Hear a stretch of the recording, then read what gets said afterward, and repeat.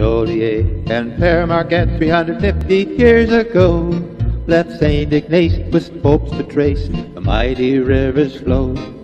With five men to live and fin in the land they did not know. An inner voice told him, told him they must go. The Menominee warned Joliet of a land that was unknown.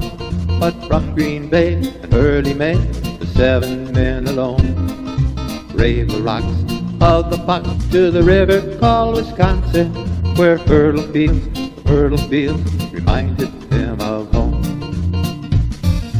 Joliet, Joliet, Pere Marquette, with five men, five brave men, for the continent.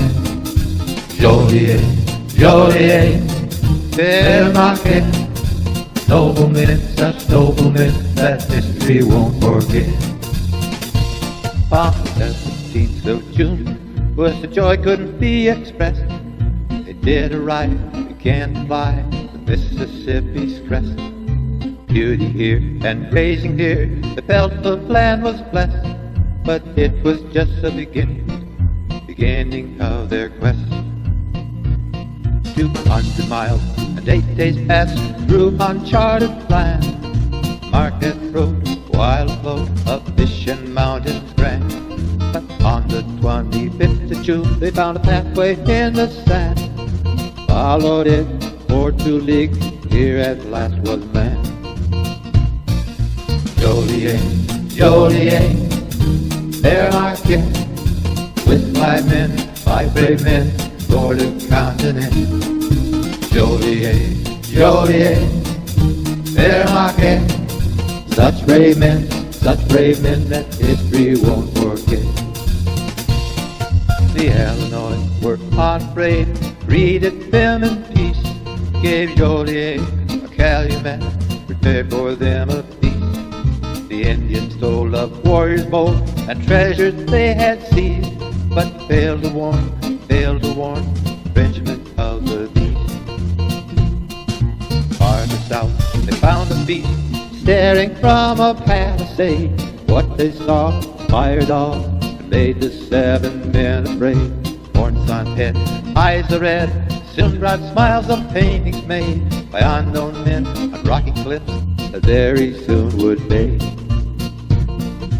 Joliet, Joliet, Pere Marquette, with five men, five brave men, Florida continent. Joliet, Joliet, Pere Marquette, noble men, such brave men that history won't forget. On the 17th July, surrounded by canoes, the Quapaws at the Arkansas told of what they knew. They warned of Spanish to the south if they continued to pursue. They said you lose your freedom, lose your freedom if you do. The seven men said farewell to their newfound friend. Joliet determined that the journey now must end. No exploring the men were spent, they must ascend the mighty river's current without sail, without wind. Joliet, Joliet, Pere Marquette, with five men, five brave men, the continent. Joliet, Joliet, Pere Marquette, noble men, such brave men that history won't forget. No mosquitoes plagued them, they reached the Illinois.